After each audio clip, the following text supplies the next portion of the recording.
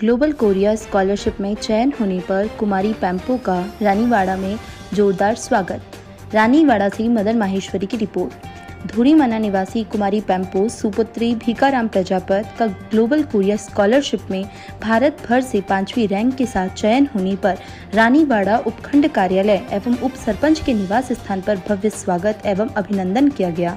इस दौरान उप जिला कलेक्टर प्रकाश चंद्र अग्रवाल, प्रधान रमीला मेघवाल, अतिरिक्त ब्लॉक मुख्य शिक्षा अधिकारी गजेंद्र देवासी, रानीवाड़ा उप सरपंच सुश्री अलका बोहरा, सरपंच प्रतिनिधि मफाराम राणा द्वारा कुमारी पैम्पो को शॉल, साफा एवं मालाओं से भव्य स्वागत किया गया। इसके पश्चात श्री रामदेव इंडस्ट्रीज़ में भी श्री दानाराम माली द्वारा पैम्पो कुमारी का शॉल उठाकर स्वागत किया गया।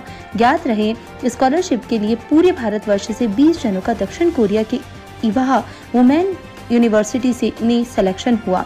जिसमें कुमारी पैम्पो प्रजापत ने पांचवा स्थान हासिल किया है। अब पैम्पो को दक्षिण कोरिया के इवाह वुमेन यूनिवर्सिटी में जाकर पढ़ने का मौका मिलेगा।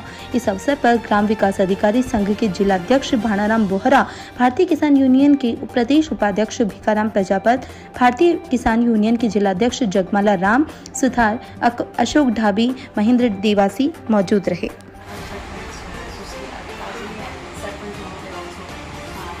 उपस्थित हैं, सबका बहुत बहुत धन्यवाद जिन्होंने मुझे इस वीडियो से बुलाकर आज मेरा स्वागत किया।